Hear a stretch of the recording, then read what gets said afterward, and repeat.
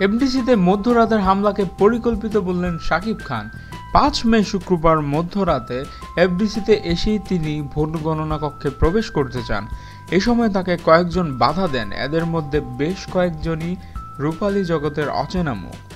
তাদের সঙ্গে যোগ দেয় শাকিব খান বিরোধী কয়েকজন শিল্পী ও কলাকুশলী। তর্কাতর্কির এক পর্যায়ে সেটা হাতাহাতিতে রূপ নেয়। শাকিব খান জোর করে ভিতরে প্রবেশ করতে চাইলে তার গায়ে হাত তোলার প্রস্তুতি নেয় কেউ কেউ। অবশ্য এর আগেই হামলা শুরু হয়ে যায়। তার গাড়ির গ্লাস ভেঙে ফেলা হয়। এ সময় কেউ কেউ শাকিব খানকে মদপ্য বলে গালাগালিও করেন। কিন্তু হঠাৎ কেন শাকিব খান ভোট গণনা কক্ষে প্রবেশ করতে চাইলেন? তা জানতে চাইলে শাকিব বলেন, আমার কাছে বেশ কয়েকজন প্রার্থী ও সাধারণ সদস্য ভেতরে কারচুপির অভিযোগ করেন। পুলিশের ঊর্ধ্বতন কর্মকর্তাদের উপস্থিতিতে ভোট গণনা হচ্ছে। বিষয়টি শুনে আমারও বেশ খটকা লাগে।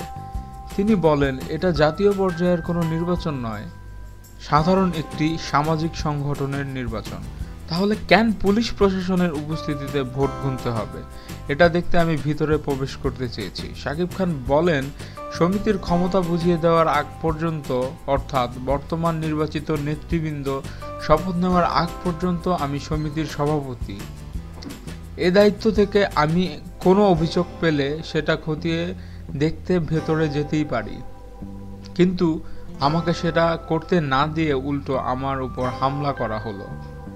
এটা কেন হলো বা কারা করল এমন প্রশ্নে তিনি বলেন, মনে হচ্ছে পরিকল্পিতভাবেই সব কিছু করা হয়েছে। শাকিব খান আরও বলেন, চলচ্চিত্র পেশা শক্তির ব্যবহার করে নির্বাচন হবে। এটা মোটেও আশা করিনি। দিন শেষে আমরা একই পরিবারের সদস্য। এটা কেন অন্যেরা বুঝে না বা বুঝতে চান না? তিনি বলেন, আশা করি সবাই নিজেদের ভুল বুঝে কাজে মনোযোগ দেবেন, তবে ভবিষ্যতে এরকম ঘটনা যাতে না ঘটে, সেটার প্রতিও সবার লক্ষ্য রাখতে হবে। আমাদের ভিডিও ভালো লেগে থাকলে অবশ্যই চ্যানেলটি সাবস্ক্রাইব করতে ভুলবেন না। ধন্যবাদ।